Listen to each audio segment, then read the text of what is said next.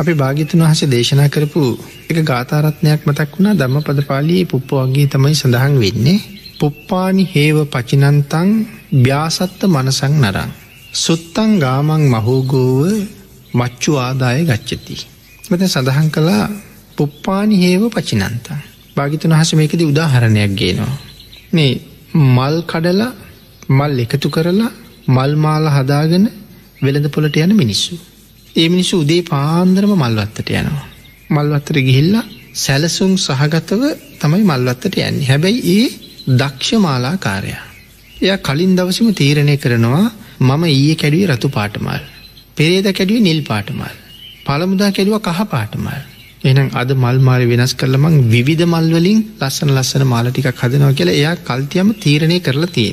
ඒ නිසා උයනට ගියපු ගමම්ම එයා පාට පාට මල් කඩාගෙන ගෙදර ගිල්ල ඉක්මනට මාලටික හදාගෙන දවල්වෙන්න කලින් පොලට යනවා. මෙහෙම සැලස්මක් නැති පුද්ගලයා මල් උයනට ගිහිල අතරමං වෙනවා. අතරමං වෙනවා කියල සඳහන් කළේ මල්ගස් පිරිල මල් පිපිලා. මේ ගහදිහා බල්ල අනිගහ දිහ බලන්නට හිතෙනවා මේ ගහට වඩා අර රතුමල් ලස්සනද. ඊට වඩා නිල් පාට මල් ලස්සනද කහපාට මල් ලස්සනද මේ ගහේ මල්වලට වඩා අරගහේ මල් සාරවත්ද එහෙම හිත හිතා මෙයා මල්වත්ත පුරාම ඇවිදිනවා. හැබැයි මෙයා දන්නේ නෑ මේ මල්වත්ත පුරාම මං මේ මල්ගස්වල ලස්සන බලබල ඇවිදිනකොට දවසගි වෙනවා කියලා. මොකද මේ ගහින් නෙලාගන්න ස්වාභාවික මල්න්නේ ඉර හැරෙන්ඩ ඔන්න මෙන්න කෙනවට මේ මල් පරවෙනවා. පරවිච්ච මල් අරගෙන ගිහිල්ලා මාලහදාගෙන වෙල්දපොලට යනකොට හොඳටම හවස්සෙනවා. එතකොට එයාගේ මල්මාලට හොඳ මිලක් කම්බෙන්නේ නෑ පරවිච්ච මල්වාලය. මේ මේ කාරණාව දිගට සාකච්ඡා කරන්න ඕන කරුණ නමුත් කාල වේලාවට අනුසේ පත් කරහම මේ මනුස්ස ලෝකෙ අපිටත් වෙලා තියෙන්නේ ඒක මේ මෙතන මල්කාරයෝ කියලා උපමාවට අරගත්ත තැන සඳහන් කරන්න පුළුවන් මල්කාරයෝ තමයි මේ ලෝක ඉපදිලා ඉන්න මේ අපි අපි සියලු දෙනාම මල්කාරයෝ. එතකොට අපිට මල් නෙලන්ඩ කොහෙද වත්තක් තියෙන්නේ. අපි ඉපදිච්ච ලෝකයේ තමයි මල්වත්ත. එතකොට කෝමී වත්තේ මල් ඒ තමයි මේ පංචකාම කියන ගස්වල පිපිල තියෙන මල්. හැපිනෝන දේවල් කණපිනෝන දේවල් දිවපිනෝන දේවල් නාසේ පිනෝන දේවල් කයිපිනෝන දේවල්.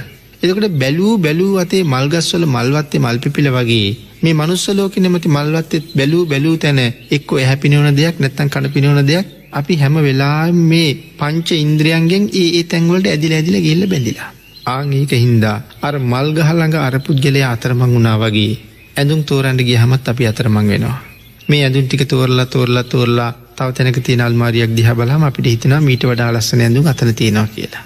දැන් ඔහොම ඇදල ඇදල ඇදල ඇදල අන්තිමට ඇඳුමක් කරගෙන යනවා. උද සෑහෙන වෙලාවක් ගියා තව වැඩ තියෙනවා. මොකක්කර ඇඳුමක් කරන්න යනවා. හැබැයි ඒක අරංගිහිල්ල ඇඳල බලලා මංහිතන්නේ සතුට වෙච්චායින්නේ බොහොම ටිකයි. මොකද එයාට ඒක ඇන්දහම හිතන අපරාදි අර ඉස්සල්ලම ගත්ත එක ගත්තන මීට වඩා හොඳයි කියල මට හිතෙනවා. අංයා සෑහිමකට පත්වෙලාන්නේ. සෙරෙප්පු තෝරන්න ගියත් ඕක හොම්ම වෙනවා. පොලට එලවලු තෝරන්න ගියත් ඕක ඔය විදිටම වෙනවා. ඒ හින්දර එකම ජාතිය දේවල් ගොඩක් තියෙනකොට අපි එතන අතරමං වෙනවා. මේ පංචකාම ලෝකයට ඇවිල්ලත් අපි අතරමං වෙලා ආං ඒක හින්දා අපි මේ හැම සම්පතකටම බැඳිලා.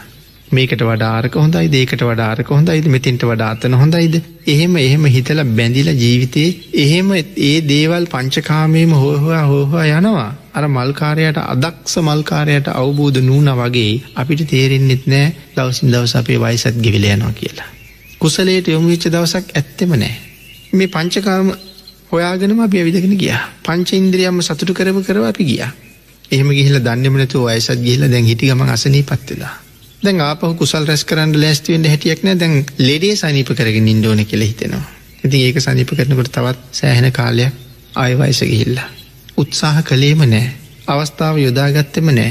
සමහරයි කියනවා මේ උතුම් ජීවිතය ලබාගෙන අපිත් හරි ආසයි පින්කං කරන්න. අපිත් හරි ආසයි සිල් ගණ්ඩ දන් දෙෙන්ට. ඒත් අපිට කොහෙද වෙලාවක් වෙලාවක් නැතිහින්ද මේ දේවල් අපිට මගැරල යනවා. ඇැති ඒගොල්ල වෙලාවක් නෑ කියලා එහෙම කීවට ඒගොල්ලන්ට විවේකයක් කම්බිච නිවාඩුවක් කම්බ වෙච්ච පෝය දවසේ ඒගොල සංචාරයක් ඇන්ඩ යොදාගන්නවා. විනෝද ගමනක් යොදාගන්නවා. ඒක යට පින්කරගන්න හොඳර තිබිච්ච වෙලාවක්.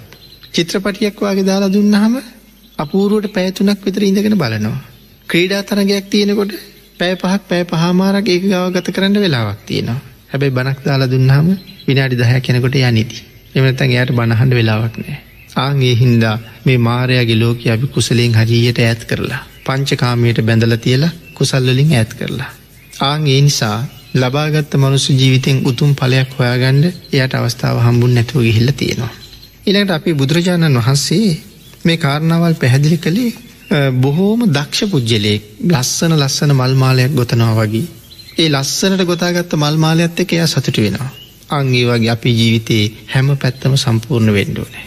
අපිත් මේ ජීවත්වෙනවා කියල කියන මැරණකම්ම මල් මාලයක් ගොතන්නේ. හැබැයි ඒ මාලි කොහොමද ගොතල තියෙන්නේ? මරණ මංචකයට ළඟාවිච්ච දවස මරණ මංචකේ සැතපිච්ච දවස අදම මැරේද හෙට මැරේද කියලා ලංවෙවී ඉන්න දවස ටික ටික ටිකටික මං ගොතාගත්ත මාලි ගැට ගහඳ හැස්ති වෙන කාලි. හැබැයි එතකොට මේ මාලි මල් නැත්තං පැත්තක මල්තියනවා පැත්තක්ම මාලි පාලුයි එමුණුත් මාලි ලස්සන නෑන්ඩි මේ මාලි තුළ ලොකුමල් පොඩිමල් ලස්සන පාට තියෙන මල් ඔක්කොම අන්තර්ගත වෙලා ලස්සන වෙච්චම් හරී ලස්සන මල් මාලයක්. අපිට මේ ලෝකෙ කරන්න ලොකු කුඩා පින්කං ගොඩක් තිබුණ.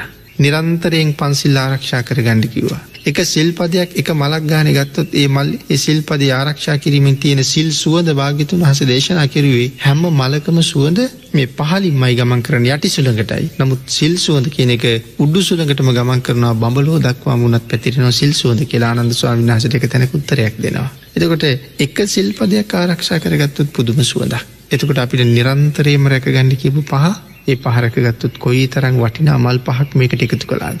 පෝයිදාටවත් රැකගණ්ඩ කියපු අටසිල් පුළුවන්නන් නවාංග පෝසතේ දසසිල් මේවාගේ සිල් ආරක්ෂා කරලා සතුට වෙන්ඩ පුළුවන් දෙයක් දැන් මරණ මංචකී තියෙනවා. මෙච්චර දන්දුන්න මේ විදිහයට සිල් රැක්ක අනිත් අයට උදව්පකාර කලා මේ දේවල් මල් හැටියට ගත්තොත් දැම්මගේ මල් මාලි හිතල සතුට වෙන්න පුළුවන් ලස්සන මාලයක් මේ කයින් හුස්මටික පිට වෙනකොට මගේ මාලි ගැට ගහගත්ත දවස.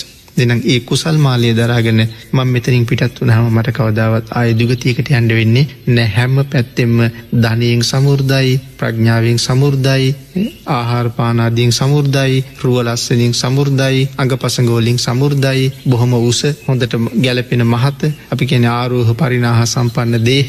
මෙසිියල්ලම ලබාගෙන ලස්සන ජීවිතයක් ගත කරන්න පුළුවන් මග මේ ධර්මි තුළ තියෙනවා.